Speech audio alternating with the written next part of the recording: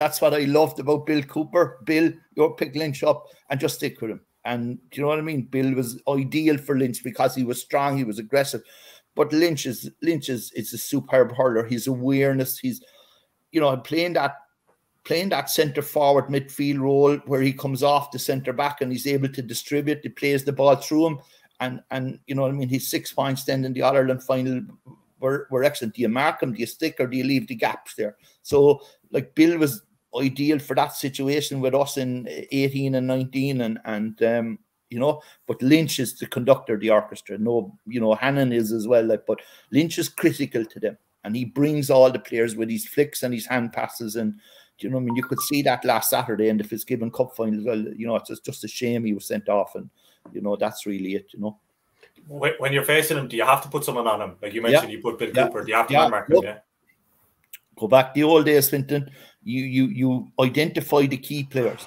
Lynch is a key player for Limerick. You need to I you, I, I wouldn't isolate him, but make sure he doesn't play because if he starts to play, then Limerick will rotate around him. And, you know, he's able to pick players out with a 20, 30 yard pass, hand pass, stick pass, whatever. And, you know, he's he's absolutely critical to Limerick's game. Really, really vital, really important. And you need to mark him and you need to tie him down. Do you know, it was an interesting quote from Jeff Lynskey, who's managed him with NUIG recently, and he said about Lynch, his skill set is off the charts. I've never seen anything like his peripheral vision, his offloads, his speed of mind, his speed of hands. It's just at a level or a different level. I've never seen anyone with that amount of skill. Would you would you go along with that? It's his awareness. It's it's it's the awareness. You don't see him like he just floats around, and then it's, it's his awareness of what's around him.